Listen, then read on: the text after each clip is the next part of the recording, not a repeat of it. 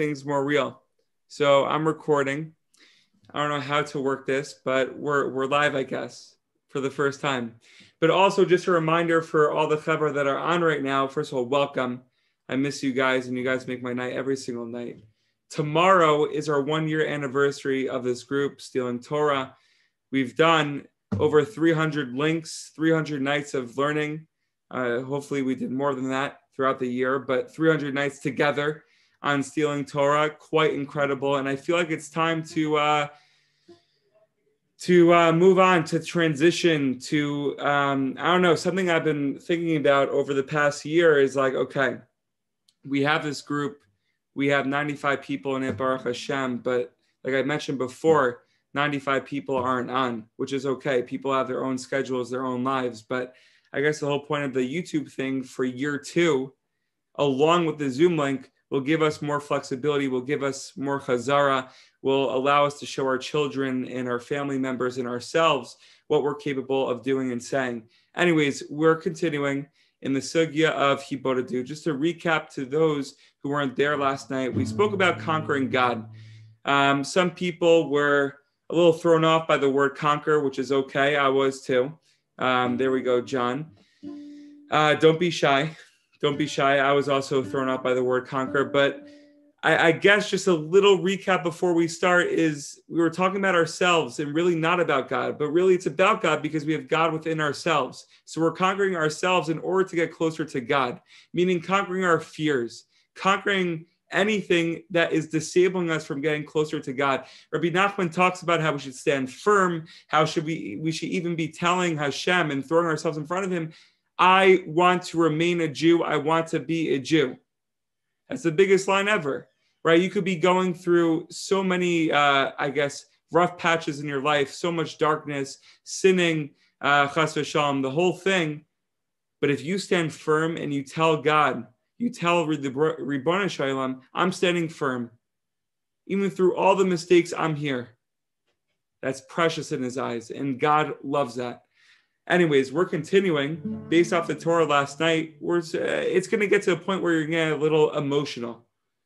Rabbi Nachman talks about wanting to cry during your hibodadu. If you're getting so real, real with Hashem and yourself to the point where you want to conquer yourself, you're going to cry. You're going to be emotional. And even if you can't shed a tear, Rabbi Nachman touches on it. This is so beautiful.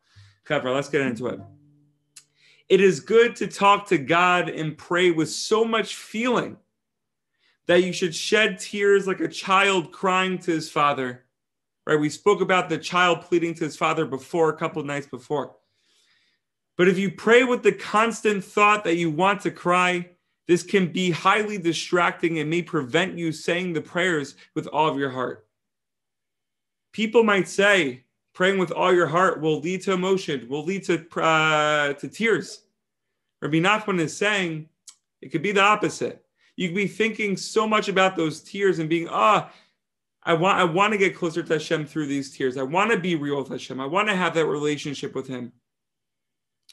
But Rabbi Nachman is telling us to let it come naturally. It will come. And if we're getting distracted by these tears, we won't be pouring out our hearts 100%. When you say your prayers, separate yourself from all other thoughts and focus mm. only on the words you are saying to God, just as a person speaks to his friend. Gewalt. Let's conclude. There's one more sentence. Your heart will then be naturally aroused and you will mm. come to genuine tears. Meaning, if you're being real with the words themselves, if you're being genuine with your own words, your own personal prayer, without thinking, Gewalt, those tears will come. And we want tears. And I've been thinking about this, um, and I want to open it up to you guys. This past year, we've been going through COVID and a lot of uh, ups and downs. And one of the main things we've been struggling with is loneliness, right? And I think we could all use a nice cry every single day, multiple times a day, right? So we have to understand that Hashem is there for us whenever we feel alone. He's Dafka there for us. And this has been the theme over the past couple of weeks in Rabbeinu's Torah that we always have a best friend. We have always we we always have someone to lean on. And part of knowing that, or if you do know that, it will be real. It will be a real relationship, a tangible relationship. And it could elevate you towards Hashem. It could bring you closer to Hashem and bring you closer to yourself and help you be more aware of yourself and your surroundings. Yimir Hashem. Guys, any questions, comments? I don't know if that made sense. Open it up. I guess I'll go again first, and then and then uh, Maisha, then you need to follow up. Give me a critique. Give me, you know, tell me I'm not misnagid. Um, they don't exist. Um, but there were some who thought they were in the 1800s. There, was, were some who believed that they were some sect. Um, I think what you say is actually a really interesting point.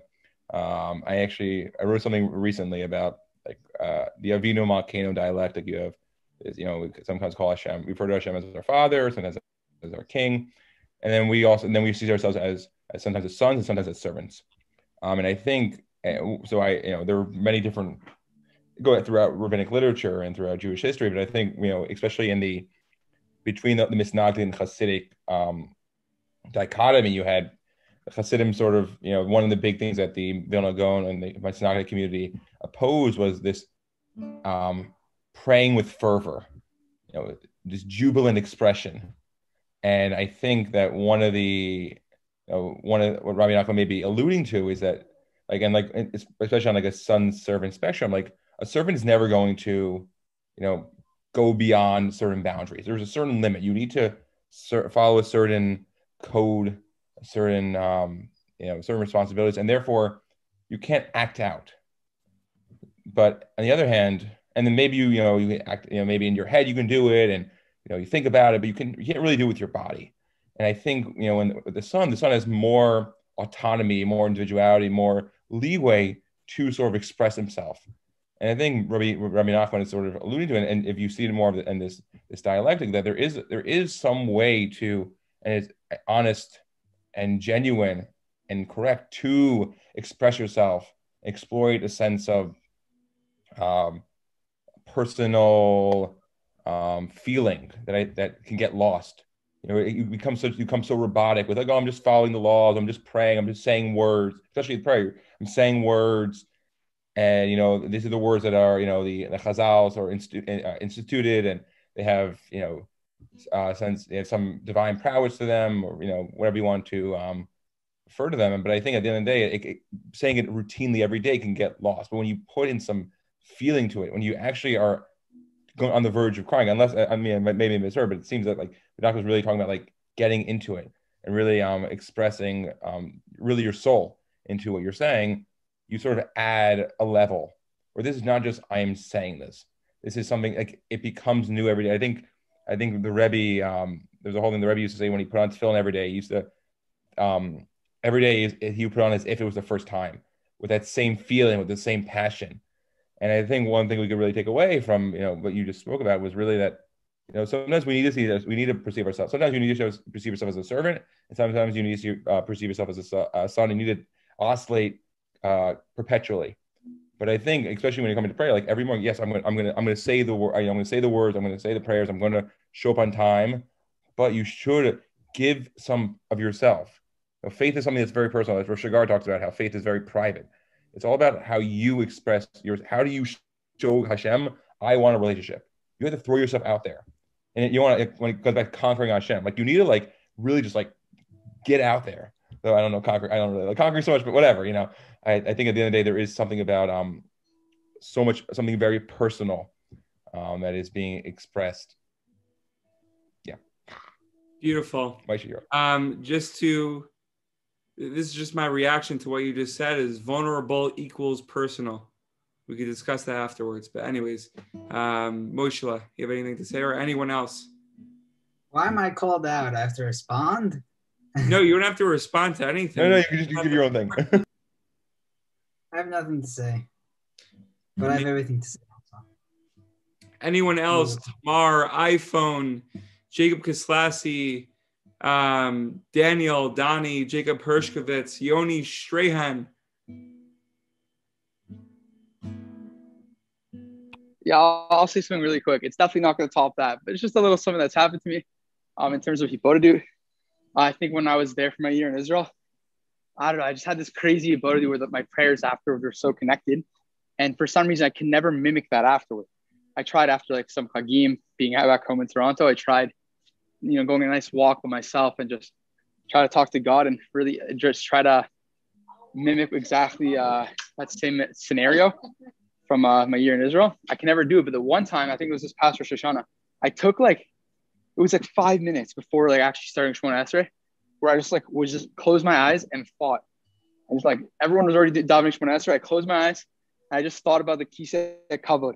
That's all I did, and I got I was so connected from there. I had such a crazy, crazy Amida.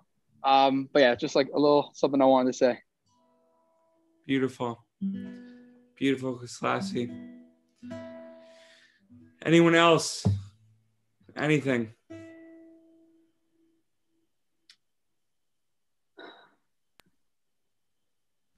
I'll go again. No, stop, stop, stop. Uh, all we need is just a smile. And that's the right. end of it. Right? If you smile, everyone else smiles. It's amazing. Anyways, Chevra, this has been great. Any, any last uh, people want to mute themselves? Please uh, feel free.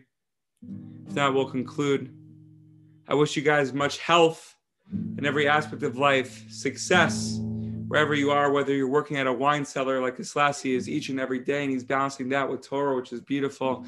John Seidel in IDC in Herzliya, Samson Schiff, again, working on uh, building bridges, connecting bridges to connect Am Yisrael in the Holy Land. iPhone, truth is, I don't know who iPhone really is. Um, and Tamar, Mamish defending the land, going to the borders. Daniel Molinsky, Shana Bet, uh, beautiful, beautiful, beautiful. Keep learning for Am Yisrael. Jacob Hershkovitz in Queens College, Gavalti stealing Torah during his college schedule. And Donnie Sawson, YU in Maryland. What can be better? Mir Hashem, guys, will continue tomorrow night. Have a great night.